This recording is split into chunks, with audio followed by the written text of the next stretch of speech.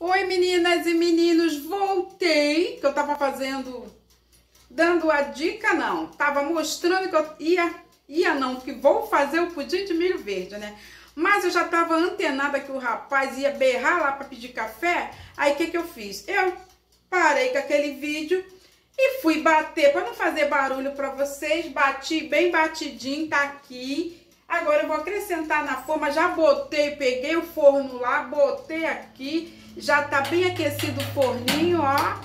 Forninho já tá quentinho, a temperatura de 180 graus. Eu já coloquei aqui 60 minutos, mas depende muito, tá? Aí a minha água já tá aquecidinha ali, eu vou passar a forma já com a caldinha pronta, olha. Aqui tem uma xícara de açúcar, bem feitinha a calda, olha.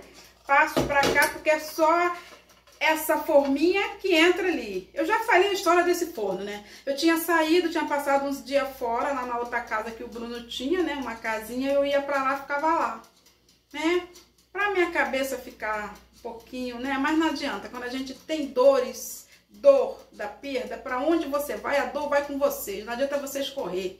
Porque a dor, ela tá aqui dentro. Então, para onde você vai, a dor vai com você. Então, eu ia para lá, passava... Eu ia sábado, ficava sábado, domingo, segunda-feira de manhã eu vinha, à tarde, ou no, se o Júnior ia para lá, no domingo à tarde que ele vinha, eu aproveitava e vinha com ele para não ficar sozinha. Depois eu não fiquei muito legal, aí eu não quis ir mais para lá. O Bruno vendeu a casinha que tinha lá num bairro aqui em Duque de Caxias chamado Maria Helena, no bairro. Eu ficava lá tranquila, sossegada. Ó, botei aqui nessa forninha. Então, nesse, nesse tempo que eu fui pra lá, no final de semana, Carlos mandou o Júnior comprar um forninho, né? Que eu tinha um branco, aí eu dei o branco, dei o outro micro-ondas, depois ele comprou outro micro-ondas novo. Aí eu queria comprar um forninho, mas eu não queria desse tamanho, eu queria maior. Aí eles compraram um forninho pequeno, então só entra tabuleirinho pequeno. Então, é uma economia do, de gás e rapidinho. Então, vou fazer o pudim de milho verde ali. Eu já botei água para aquecer, vou botar aqui na forma. Ó. Botar aqui, cuidado que tá quente, mas eu coloquei aqui. Pera aí, caiu um pouquinho na calda, mas não derreteu não. Ah, isso acontece mesmo. Ó, botei aqui, não botei tudo pra não derramar, né? O forninho já tá quentinho ali.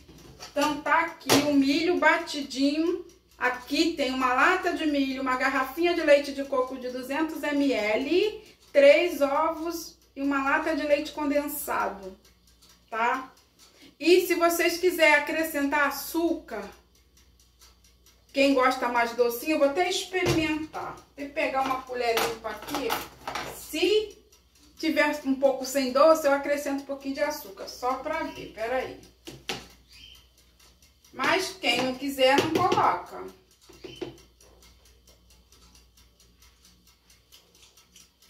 É, tá bom. Eu acho que pra mim tá bom, porque tem aquela calda que vai derreter por cima.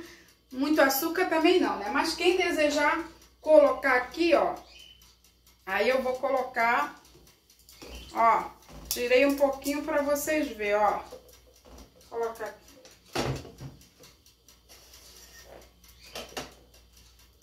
Tá vendo? Essa forminha é o tamanho ideal, que eu tenho uma menor, né? Mas essa daqui é, eu acho, da que eu tenho aqui é a média. Que a outra é gigante, grandona. Olha, Agora eu vou botar aqui no banho Maria. A água entornou um pouquinho, mas é bom que cai na pia para não cair no forninho. Vou entornar um pouquinho, que eu botei um pouquinho a mais. Tornar mais um pouquinho. Pronto, acho que agora já dá. Pera aí, é melhor entornar mais um pouquinho. Deixa eu tirar aqui. Também não pode ser muito, né? Pronto. Agora eu coloco aqui. Ainda sobrou água aqui, se precisar mais. É assim, a gente faz o que a gente sabe fazer. Importante é fazer, não é mesmo? É estar de bem com a vida. Já botei a panela de pressão ali, ó, porque já vou botar carne para cozinhar. Vou fazer uma carninha pro almoço, né? O que der para fazer, eu vou fazer. Também eu não quero passar o dia todo na cozinha não, né? Estou com dor no corpo. Olha, meninas, já vai pro forno, olha. Tá vendo? Botei o forno aqui em cima da pia, para não ficar muito alto, que aonde o forno fica, é uma bancadinha que tem ali. Mas eu ficar levantando assim, não, não, não, pensar em mim, né? Tá aqui. Se quiser acrescentar um papel alumínio para tampar ali, para cozinhar o pudim, vocês fazem isso também.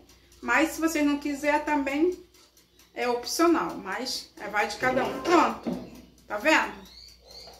Comecei naquele vídeo batendo, conversando, fazendo a calda e aqui vocês viram eu colocar ali e colocar no forno. Então, quando tiver pronto, eu mostro pra vocês. Se der pra mostrar ele assim pronto, eu mostro. Se não der, só quando eu desinformar. E é isso, espero que vocês gostem da, né, das dicas que eu tô dando aqui para vocês, porque eu faço uso e passo para vocês, né? Não deixe de se cuidar. Olha, se vocês não comprar produto para vocês cuidar do rosto, vocês fazem coisas naturais que dá para fazer em casa. Esfoliação. Eu comprei um produto para fazer esfoliação. Mas antes de comprar, eu fazia esfoliação com o que eu tenho em casa. Como, Mara? Como? Tem tanta coisa que a gente pode fazer esfoliação no rosto. Ó, tem pessoas que faz com fubá de milho, né? Com mel, faz aquela misturinha e passa. Outros passa açafrão, né? Mistura ali um mel e passa, deixa uns minutinhos. Eu, quando eu quero fazer que eu não tinha, o que, que eu fazia? né? Eu pegava o café, uma colherzinha de chá de café, botava na mão. Ó, tô dando dica para você. Ah, não tenho dinheiro para comprar, mas tem esses ingredientes em casa? Então faça, meninas, uma esfoliação no rosto, né? Maravilhoso. Aí bota uma colherzinha de café, eu uso o café mesmo, mas se você não quiser gastar, pode usar a borra do café, que também dá. Mas eu, eu prefiro usar o que eu nunca usei ainda, que ainda tá novo. Bota uma colherzinha de chá, eu já falei isso no Cantinho da Beleza.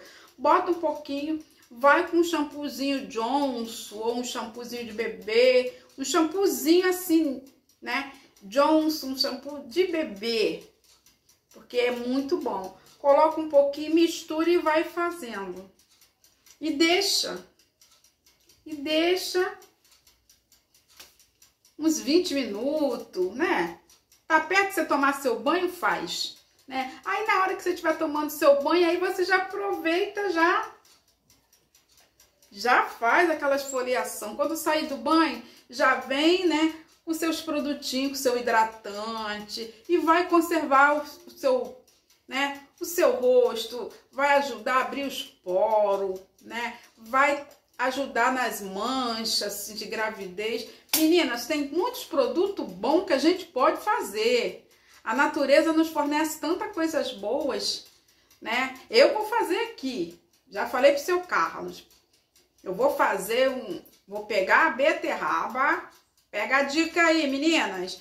Pega a beterraba, uma beterrabinha, descasca ela, corta, bota no liquidificador, pega uma banana prata, corta, bota no liquidificador, né? Acrescenta um pouquinho de água, não muito, né? Mas vai com vocês se vocês quiserem. Vocês podem até acrescentar água de coco se vocês quiserem, né? Pode acrescentar água de coco, né? Ou se não, uma xícarazinha de água de 200 ml, uma xícarazinha, depende se você quiser, ou né? Que é, meio litro, 500 ml, né? Aqui. Mas eu acho, não precisa botar muita água não para ficar bem forte. Bota só uma xicrinha só, uma xícara de 200 ml de água ou água de coco. Então vai a beterraba, uma banana e 200 ml de água. Pode pôr água de coco. Pode colocar o suco de laranja, uma, um copinho de suco de laranja. Vocês fazem do jeito que vocês quiserem. Se quiser misturar, bate a beterraba com a banana cortadinha. Quem quiser peneirar, coar para tomar, faz isso. Quem não quiser, toma assim mesmo. Bate bem batidinho e toma pela manhã. Vai te revigorar. É bom para pressão. É bom, é bom para anemia, né? É bom para um bocado de coisa. É natural. Beterraba a gente sempre tem em casa, eu tenho ali. Banana vocês viram que não falta aqui. É bom para, né? Para um bocado de coisa. Para imunidade também ajuda. Se você bota ali um suquinho de laranja batido ali. Carlos gosta muito de fazer vitamina mista com beterraba, maçã, banana, leite. Ele gosta de ser, de vez em quando ele pega uma beterraba, ele pensa que eu não vejo, ó.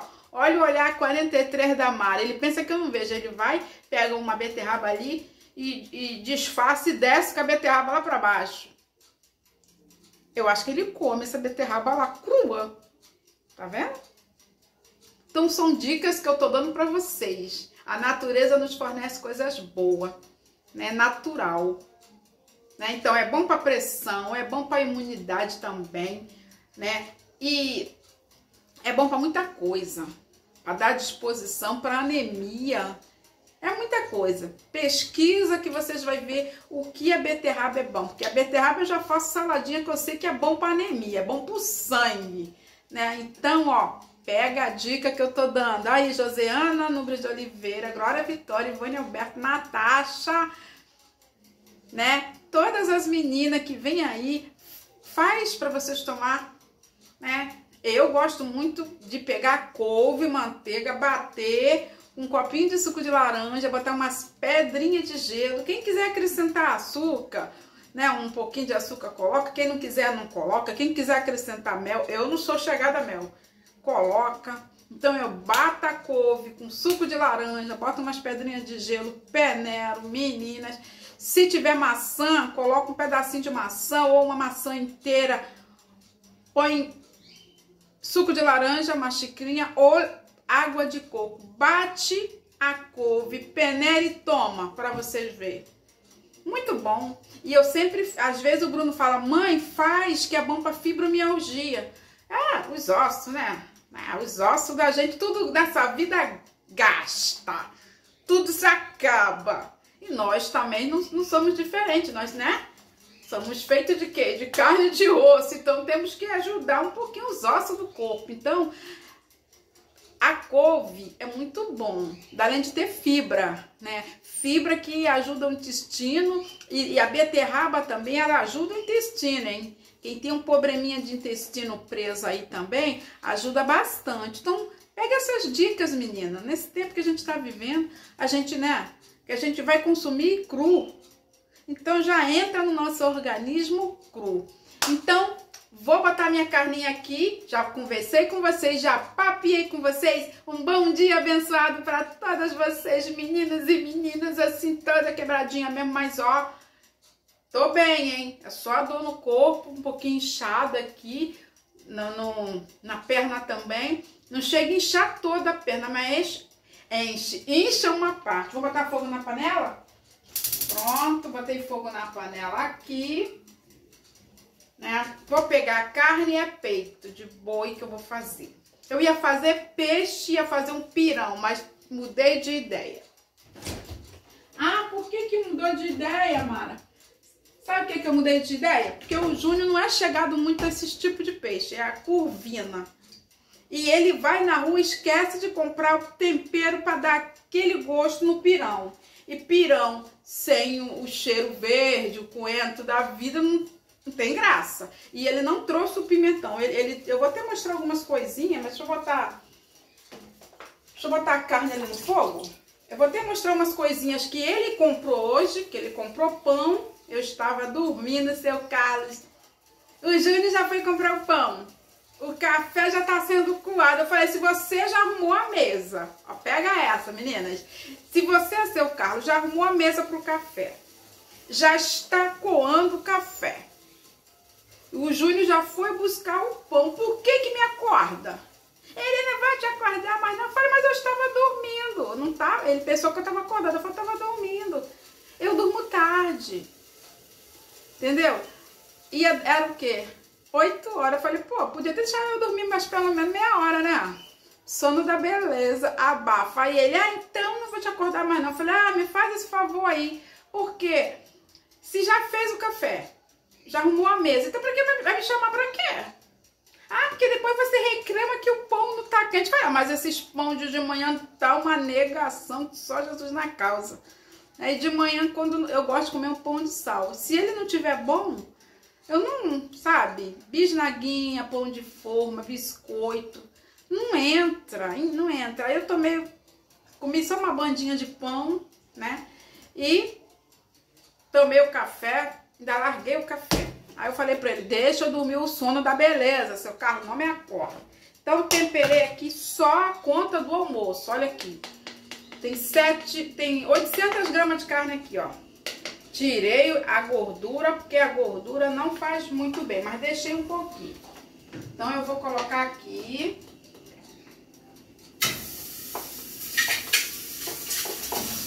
Tá aqui, essa carninha. Não sei se eu vou fazer uma farofinha, não sei.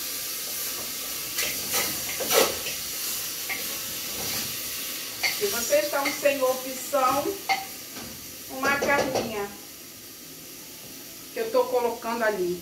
Aqui eu posso fazer ela assadinha, ou eu posso fazer um cozidinho dela, botar alguns legumes, ou só ela com molho mesmo, não importa. É, esse tipo de carne ali dá para fazer de vários jeitos. Né? Pode fazer na pressão, pode fazer sem pressão, aí é com vocês. Eu dou um calorzinho um pouco na pressão e depois eu vou corando ela e boto um molhinho nela. Temperei com um alho, botei coloral, botei minhas, minhas ervinhas aqui, ó, as minhas ervinhas que eu uso aqui, olha, tá vendo? Esses meus temperinhos, tudinho aqui eu coloco tem outros temperos lá e a gente dá essa turbinada na carne, tá? Mas eu vou mostrar as coisinhas do dia que foi comprada hoje, mais coisas para lavar, tá? Então, é o que eu falei para vocês, faz isso para vocês fortalecer o organismo. Vou vir dando mais diquinhas de produtos que a gente tem na geladeira, que a gente pode fazer pra gente, ó, tomar e ajudar um pouquinho o nosso corpo, né? Vou mostrar as coisas que eu brotei lá, porque como eu estava usando para fazer a calda aqui, eu tive que abrir o fogão que estava tampado. Vou trazer porque eu tenho que espirrar alto. Olha o que foi comprado hoje. Olha, bisnaguinha, saco de bisnaguinha, que aí o Júnior não precisa todo dia descer tá aqui. Mais uma gulosema para ele, esse biscoito aqui passa tempo. Mais um pacote de pão, panko, vou espirrar álcool, mas tem pão lá, hein? Porque às vezes eu faço misto quente, queijo quente, né? Então, é para espirrar álcool, vou botar lá na mesa.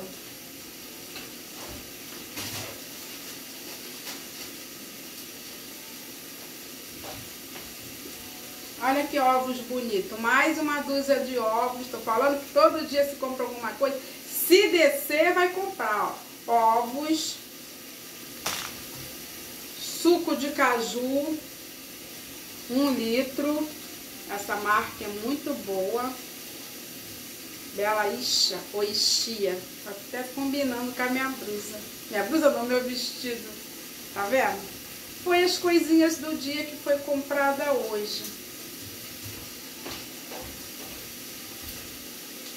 Ele aproveita, ainda trouxe, ó, dois detergentes que eu já vou guardar aqui debaixo da pia. Não deixa acabar. Esse mês repôs as compras, porque sobrou muita coisa. Aí seu carro tá repondo as coisas. Eu ainda tenho que descer para comprar as coisinhas que eu quero. Que eu quero comprar um salgado para deixar no freezer, para eu fazer uma mini feijoada, porque só eu e seu Carlos que comem. Então, detergente que eu vou botar aqui debaixo da pia né? Que é para não trazer peso, né? Então, sempre que vai, eu acrescento, traz isso, traz aquilo. Aí trouxe, ah, também ele trouxe, peraí, para não balançar o pedestal, esse seu Carlos Aí é onde eu falo pra vocês, deu uma balançada, né? Ele trouxe mais cebola e trouxe tomate. Tá aqui pra limpar. Espirrar álcool. Tá vendo como se gasta dinheiro? É assim. Ainda tem que agradecer a Deus, né? Por não faltar o nosso pão de cada dia. Deixa eu mexer aqui. Então é isso meu cardápio de hoje. Estou mostrando para vocês, compartilhando essa carninha aqui, que vai ser para o almoço.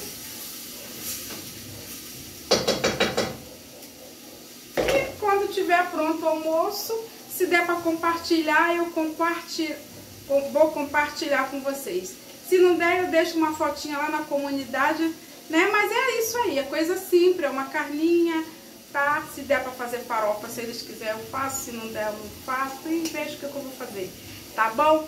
Beijo pra vocês. Até o próximo vídeo. Sempre que der, eu vou vir com umas diquinhas de produto que você tem em casa para vocês acrescentar, para vocês fazerem, tomar e fortalecer o corpo, tá bom? Até o próximo vídeo. Tchau!